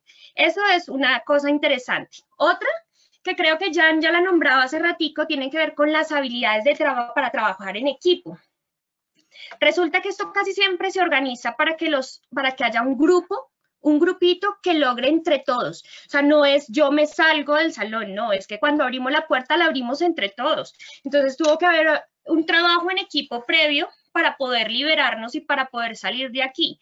Y ese trabajo previo hace que cada uno desde su realidad pueda aportar, porque puede que haya una pista en donde sea leer el texto y completar algunas cosas, pero no soy muy bueno en eso no se me da muy bien la lectura, por ejemplo, en inglés, entonces no, no voy a llegar muy fácil, pero después dice que es armar unas fichitas, entonces no, pues lo manual y las cosas como de pensamiento, esas sí me fluyen mucho más, entonces aquí puedo, como que logras encontrar una manera de aportar al equipo sin necesidad de que todos tengan las mismas habilidades porque al final el logro tiene que ser grupal. Y mira que si tú lo, pasas mucho más allá y lo piensas más en la vida como tal, pues básicamente es lo que hacemos. Buscamos todo el tiempo la manera de salir adelante con nuestro equipo de trabajo cada uno desde su realidad y sabemos que el compañero es bueno para una cosa y nosotros somos buenos para otra, pero nadie está puntualmente diciendo, bueno, tú, no, tu equipo, ¿qué fue lo que hizo? Y es una de las habilidades que más son importantes para desarrollar en todo este tiempo eh, del siglo XXI con nuestros estudiantes. Entonces, eh, dime. Qué pena, sí, contigo. Y Duolingo, ahorita una profe nos hizo una pregunta sobre qué tipos de juegos ella puede utilizar ahorita con el distanciamiento social para niños de prejardín, ¿cierto? Eh, sabemos de la experiencia de Duolingo, pero también, pues primero que nos cuentes un poco de Duolingo como una experiencia de gamificación y también qué, qué otros juegos o qué otras aplicaciones les aconsejas a los profes. Vale, entonces, eh, bueno, pensando un poco en la experiencia de Duolingo, a la profe le respondí por allí por interno, eh, ya le coloqué algunas, algunas páginas que puede utilizar, que, que, de pronto pueden ser útiles, sobre todo durante estos días, porque ya cuando estemos en el aula, pues la dinámica es totalmente diferente, pero de pronto puede apoyarse un poco desde esa parte. Duolingo tiene muchas cosas llamativas, ya muchas páginas lo han intentado, muchas herramientas virtuales han intentado lograr como que, que la persona tenga esa conciencia de autoaprendizaje y no muchas lo han, lo han logrado como a cabalidad. Eh, yo puntualmente soy la pues, coordinadora y, trabajo con la parte de inglés, pero si quieren que les cuente a título personal, me encanta Duolingo y lo practico mucho con italiano porque pues es como mi logro, mi objetivo y lo que tengo en mente. ¿Qué me gusta de Duolingo? Me gusta mucho como la estructura que te lleva siempre como un juego, o sea, tú siempre vas avanzando de nivel, él siempre te va dando puntos cada que tú avanzas. Es muy repetitivo y uno podría decir, no, qué jartera, o sea, voy a repetir lo mismo, pero repites tanto y lo repites de maneras diferentes y de maneras llamativas que finalmente la palabra o la expresión termina por adherirse a ti y no te puedes desprender. Hay algunas unidades de Duolingo que pueden resultar un poco complejas, eh, pero Duolingo nunca te cierra la oportunidad, incluso con la versión, la versión normal en donde tú no tienes que pagar la versión gratuita, él nunca te cierra la posibilidad que tú practiques, porque si tú ya has superado algunas habilidades, algunas unidades, él se mueve por unidades, ¿no? Entonces tú tienes como un caminito en el que vas siguiendo las unidades de acuerdo a las temáticas. Las primeras son mucho más sencillas, después obviamente la cosa se va poniendo un poco más compleja, pero a medida que tú vas en de pronto los niveles más complejos y vas perdiendo tus vidas, porque siempre tienes cinco vidas, tú tienes la posibilidad, cuando te quedas sin vidas, de practicar las unidades que ya has superado para llegar un poco, eh, para conseguir más vidas y poder seguir avanzando. Entonces, él nunca te cierra la oportunidad de que tú puedas practicar, nunca te dice, lo siento, perdiste las vidas. Un poco también para lo que decía el profe y preguntar, profe, de la frustración.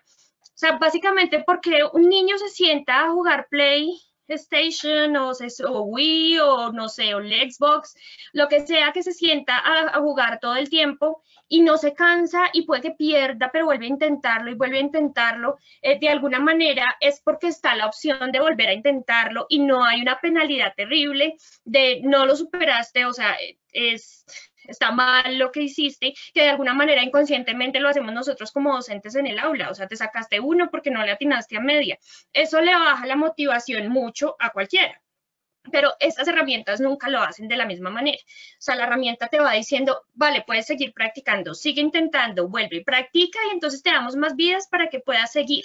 Entonces, un poco esa, esa capacidad para otra vez como eh, volver a iniciar, para volver a intentarlo. Eh, siempre el muñequito de Duolingo pues te va saliendo también a decirte buen trabajo, estás haciéndolo bien, sigue practicando. Entonces también este tipo de cosas, aunque pareciera que no, pues de alguna manera te van dando cierta satisfacción de que estás avanzando y de que lo estás haciendo bien. Y pues digamos que en cuanto a aprendizaje autónomo, no es que estemos muy adaptados nosotros como latinos creería yo que en totalidad no, es, no estamos muy adaptados a todo lo que tiene que ver con aprendizaje autónomo, pero esta en definitiva es una herramienta en la que te sientes acompañado de... Eh, muy a su manera y puedes tú seguir como con los pasos de la gamificación, avanzando en niveles, obteniendo puntos y eso es muy llamativo para los chicos y pues incluso para nosotros como adultos.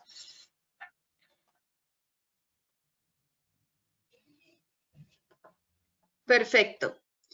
Ok, en ese sentido, pues eh, te agradecemos mucho la intervención, eh, Sandra, y, te invitamos aquí para, hablar de estas experiencias porque eh, salen de la obligatoriedad de las herramientas digitales y tenemos otras posibilidades para hacerlo. En todo caso, también Jan Carlos está aquí presente y nos puede contar un poco frente a esas aplicaciones que podemos utilizar especialmente en inglés para los niños pequeños, aunque pues ya, ya lo comentaste tú. yo también pues quería, sí, sí, quería aprovechar para recomendar una aplicación que, bueno, a título personal la, la he manejado, se llama Phone English. La voy a escribir acá en el chat para que la profe que hizo la pregunta tenga la información. Se llama Phone English, la puedes encontrar en App Store eh, tiene el logo de un gatico. Entonces, esa es una aplicación que sirve sobre todo para los, los más pequeñitos. Hay otro que también se llama Learn English Language and Grammar, que es como aprende inglés, eh, idioma, el, el, lenguaje y la gramática. Y una vez que ingreses a esa app, la misma, eh, la misma App Store, la misma Play Store, en el caso de Android, te va a comenzar a recomendar otras aplicaciones similares que puedes comenzar a explorar. Pero en todo caso, pues te recomiendo que comiences explorando por esta que se llama Phone English. Eh, sirve mucho para estudiantes que pueden estar en etapas de preescolar, puede ser un niño de transición, eh, un niño de primer grado. Más que todo va a servir para, para la educación preescolar con los niños que están, digamos, haciendo esa aproximación hacia el aprendizaje. Puede servir también como un apoyo para tus clases y sobre todo para empezar a traer ese, eh, digamos, los principios del juego a tu proceso de enseñanza-aprendizaje. Ok, muchísimas gracias por, por esas intervenciones y pues ya se nos está acabando el tiempo, por esa razón vamos a avanzar un poco más rápido. En ese sentido, vamos a continuar con el último nivel y es este. Acá los invitamos a eh, trabajar con este, este código QR, donde los invitamos a ustedes a aventurarse a diseñar su propia estrategia gamificadora. Eh, les sabemos que vamos a lograrlo. No duden ni por un instante de la creatividad que tienen y el poder de su imaginación. En este código QR ustedes van a encontrar un documento compartido que acá se los voy a mostrar. Este es un documento que fue creado por Joana Duarte, que es eh, nuestra coordinadora de formación. Y el objetivo de este, de, este, de este Excel es una de las recomendaciones que ella nos daba. Joana, que ya que estás aquí. Bueno, mis profes, eh, esta es una narrativa, es más o menos el ejemplo de cómo construir una narrativa. Y pues a mí prácticamente siempre me ha surgido la duda, ¿qué va a pasar cuando nosotros regresemos de la cuarentena con todos estos animalitos que han estado dejándose ver? Entonces, a partir de ahí creé esta narrativa, pero la idea es que entre todos, como ustedes ya tienen acceso al link, podamos, si tienen alguna idea de cómo poder eh, generar una meta, una libertad, eh, unas vidas. Les voy a contar de qué se trata y luego los invitamos a que generen ideas en este documento o que lo descarguen ya por tiempo. Dice, la naturaleza se abre paso ante, el panorama de las ciudades vacías. Cada vez ciervos, jabalíes, pavos reales, cabras, coyotes, aves se adentran más en estos entornos en búsqueda de comida. Delfines, ballenas y peces surcan mares y ríos. ¿Qué pasará cuando toda esta crisis pase? Ha llegado el día en que las puertas de todas las casas son abiertas y los humanos vuelven a tomarse los lugares. Polulan, se multiplican, persisten en profanar sus recursos. Se creyó que la cuarentena los cambiaría.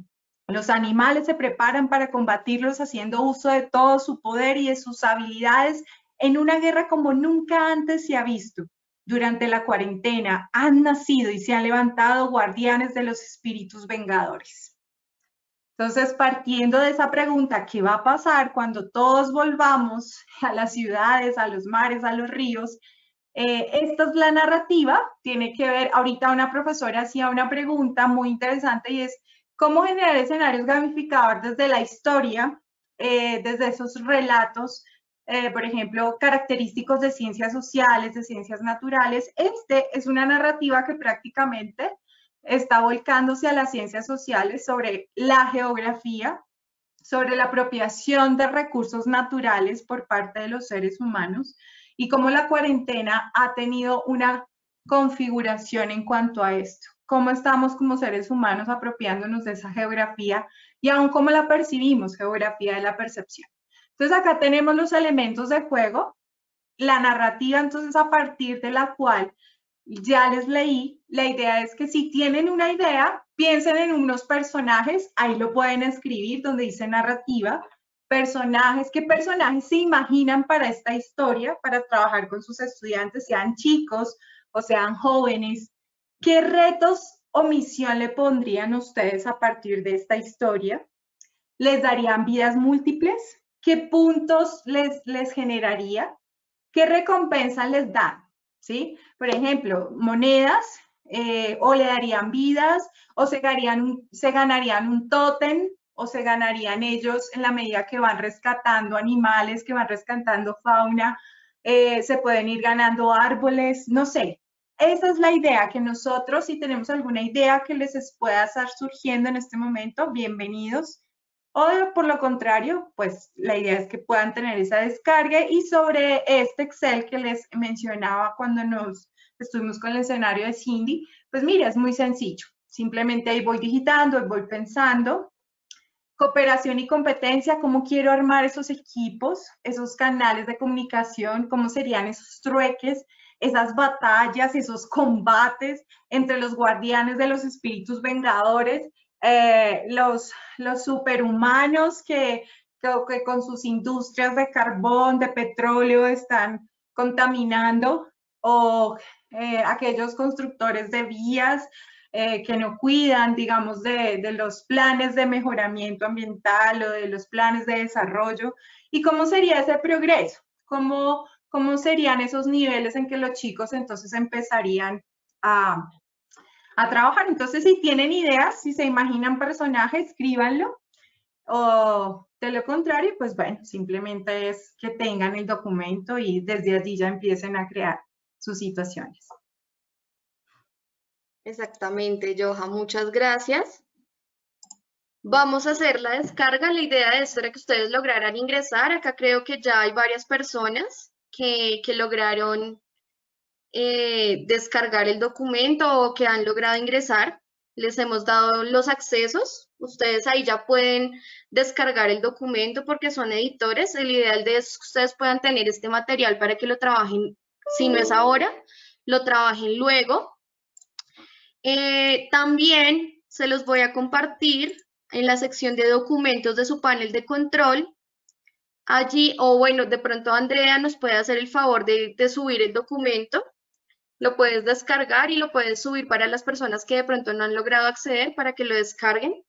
También van a encontrar la presentación y uno de los documentos que nosotros estamos recomendando mucho para, para hablar y para estudiar el tema de gamificación.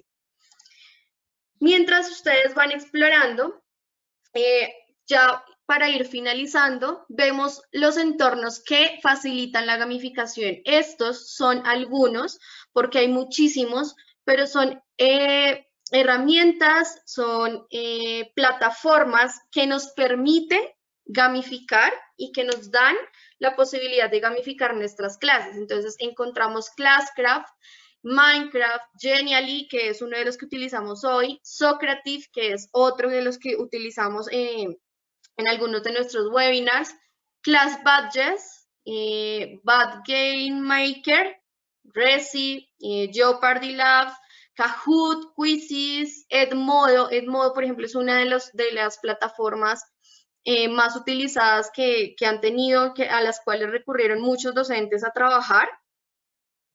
Eh, Class Dojo, WooClap. WooClap es una de las plataformas que utilizamos más aquí en SM para hacer este tipo de, este tipo de encuentros. Eh, Deck Toys and Duolingo. ¿Vale? Entonces acá ustedes las van a poder encontrar, las pueden buscar Mientras tanto, nosotros estamos dándoles acceso a ustedes al documento compartido. Y ya se lo subimos ahí en el panel de control donde dice si no, si no pueden acceder al documento, igualmente ya está aquí. Y ya podemos entrar a la sección de preguntas. Es importante pues escucharlos y también eh, pues saber si tienen algunas otras dudas sobre... Ok. Hay una, hay una pregunta, eh, bueno, pero antes de eso, mientras yo voy haciendo la pregunta, eh, para que por favor vuelvan a intentar subir el archivo de la PPT que está en PDF porque no les está abriendo a la mayoría de nuestros asistentes. Y la pregunta que lanza el profesor Diego Ochoa es, ¿cómo vencer el paradigma en el que algunos de los padres caen en pensar que los juegos o videojuegos son malos. Bueno, yo creo que eso tiene que ver con desmitificar absolutamente todo lo que está teniendo que ver hoy en día con las nuevas formas eh, de trabajar. Creo que antes teníamos el mito del trabajo eh, en la educación a distancia, el mito de utilizar herramientas digitales, probablemente muchos de nosotros no lo teníamos en mente y tuvimos que adaptarnos a utilizar ahora herramientas digitales y puede que pase lo mismo con los entornos gamificados. Recordemos que no es lo mismo que jugar. Jugar es diferente, un entorno gamificado modifica, es la forma en la que nosotros pensamos y nuestros estudiantes piensan. Entonces, desmitificarlo eh, está en nosotros al momento de utilizarlos. al momento de empezar a gamificar nuestras clases, al momento de comenzar a utilizar estos elementos del juego, eh, es la forma en la que nosotros podemos empezar a, dejar de ese mito que tenemos allí, pero además de todo también involucrando a los papás. Creo que cuando involucramos a los papás y les decimos a ellos como que ayuda a tu hijo o, al niño le decimos pídele a tu papá que entre los dos resuelvan este reto, probablemente los papás también se van a meter en el cuento como un jugador más y ahí vamos a ir trabajando ese tema de, la, de los mitos acerca del juego. Complementando un poquito acá de lo que tú mencionas, eh, creo que este tiempo de cuarentena nos ayuda mucho a incorporar a los papás en temas de juego. Y que ayer teníamos un espacio con profes de preescolar y recuerdo mucho que la intervención de ellas era la calidad de las instrucciones y pues en el, entorno gamificado pues debe haber unas instrucciones muy precisas de juego y ahí es cuando los padres entran, digamos, en todo este escenario, porque si las, las, em, la guía, la instrucción queda bien clara para él, él notará que se trata de un entorno de diversión, de aprendizaje para su, para su hijo y que además él puede acompañar. Recuerden que los escenarios de gamificación, como nos lo contó Sandra con el Skyroom, o como vemos acá con esta preparación de Excel en cuanto a los, los guardianes vengadores, pues prácticamente tiene que ver, miren que pensando en los guardianes de espíritus vengadores, yo puedo pensar en un entorno solamente de casa, como también puedo utilizar el, Classcraft, que es, es, en ese sí, en algún momento un profesor hacía la pregunta de qué entorno fuera de Loran yo puedo empezar a, a usar para construir esto, Classcraft, que era el que mencionabas ahorita, Kate, pues me primero trabajo en este Excel, pienso en unos espacios de casa, puedo pensar en un rinconcito dentro de mi casa como profesora, decorarlo con montañas, con soles, eh, con bosques, traer animalitos de peluche. Aquí un profe Diego puso que delfines e iguana en la narrativa. Entonces el tótem pienso en la escoba. Eh, sí, es como pensar esos espacios en casa eh, puedo ir incorporando a los padres poco a poco. Recuerden que eso se trata de niveles, entonces el primer nivel puede ser con ellos, donde juego un rey manda, entonces con ellos, entonces yo les doy unas instrucciones, ellos vienen frente a la cámara y traen eh, esos personajes, esos animalitos de peluche que vamos a rescatar. Y luego si pienso en un escenario digital como el Craftcraft, y las instrucciones de calidad pues deben ser, entonces pienso en un video, un video de sensibilización a los padres, porque entiendo esa pregunta de las profes y es que efectivamente me acuerdo Minecraft en una de las conferencias que hacíamos con profes, con papás, una de ellas se me acercaba y me decía, estoy preocupada, mi hijo está adicto, es ludópata a Minecraft, pero por desconocimiento ya no sabía que que, como lo estamos viendo hoy, es un, entorno de juego seguro eh, y de una vez piensan que ya los va a llevar a otros riesgos, entonces es entendible esa preocupación. Pero creo que la clave está en eh, la claridad y la calidad de las instrucciones. Bueno, hay algo que yo quisiera agregar también sobre ese tema y, creo que ya poniéndole un poco el, eh, el ojo sobre, sobre la preocupación que pueden tener los padres de familia y es que el tema de la gamificación, cuando uno lo revisa y lo explora, eh, no necesariamente quiere decir que uno eh, tiene que gamificar todo el currículo. Eh, lo ideal sería que muchas de las actividades de instrucción se pudieran desarrollar a través de esto, pero entendemos que habrán algunos que por su complejidad quizás necesiten de un tipo de aproximación diferente. Hay un caso, en este momento hay una institución educativa en los Estados Unidos, en la ciudad de Nueva York, no sé si de pronto Kate por allí nos muestra que se llama Quest to Learn, esto es un centro de formación que ha hecho todo el ejercicio de gamificar el currículo. Ahora bien, no es fácil, eh, digamos, hacer toda la gamificación y de alguna manera lo que ellos nos dicen acá es que eh, parte importante es que los padres conozcan realmente lo que se está haciendo. Eh, normalmente no es bueno cuando nosotros hacemos cambios metodológicos y no involucramos a los padres de familia, no le contamos a los estudiantes un poco lo que, lo que vamos a intentar hacer porque eh, la participación de toda la comunidad educativa es lo que genera el éxito de cualquier método, enfoque, eh, metodología que nosotros queramos aplicar en nuestros, en nuestros escenarios educativos. Entonces, cuando nosotros de alguna manera los involucramos a ellos, les contamos un poco de, de, experiencias o casos de éxitos en el mundo, como es el caso de Quest to Learn en los Estados Unidos, lo que estamos viendo en pantalla en este momento, y les decimos que sí se puede aprender, que hay resultados maravillosos que han demostrado que el aprendizaje se puede lograr de esa manera, pues eh, de alguna manera empezamos a superar ese, ese paradigma, como decía eh, el profe que nos hizo la pregunta, de que el juego simplemente es una actividad de diversión, una actividad lúdica y que, y que, y que no conduce al aprendizaje, cuando realmente lo que se está demostrando con esto de la gamificación es que no solamente puede conducir al aprendizaje, sino que también es un elemento que aumenta la motivación, cambia también el paradigma que tienen los estudiantes de que la escuela es un lugar aburrido donde uno tiene que simplemente ganar un examen para obtener una calificación al final del año.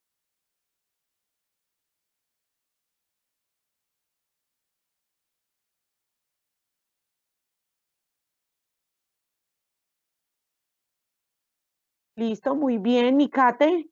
Entonces ya estamos llegando a la recta final.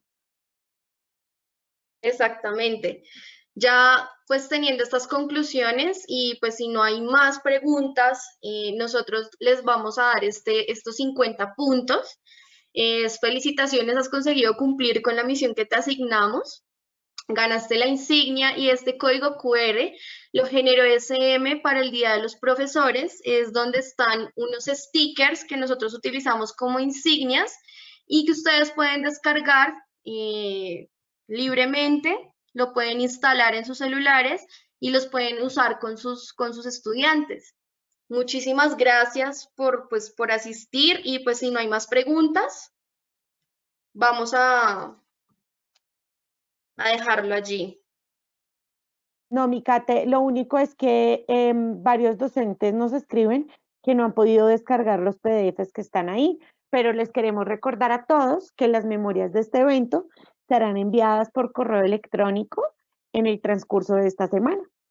Claro que sí. Muchísimas gracias. Esperamos que haya sido de gran ayuda pues, y orientación este webinar y agradecemos mucho su, su participación. Gracias por su participación. Sí, Kate, bueno, pues muchas gracias a ti, a Giancarlo, a Joana, Sandra, Cindy por haber participado de este maravilloso webinar, por sus conocimientos, por habernos brindado de su experiencia eh, en este tipo de entornos gamificables y que sé que es una oportunidad muy importante en estos momentos en los que nos encontramos confinados para de pronto darnos nuevas ideas frente a las metodologías de enseñanza-aprendizaje. Eh, pues bueno, muchísimas gracias a todos, deseándoles una muy, pero muy feliz tarde. Eh, no sé si quieran decir algo más, chicos. No, eso sería todo. Gracias a todos por haber asistido. Una feliz tarde y nos vemos en una próxima ocasión. Claro que sí, esperamos que les gusten mucho los stickers, profes, y, y, que les sea de utilidad pues todo el material que les entregamos hoy. Feliz tarde. Bueno, feliz tarde para todos, chicos. Gracias.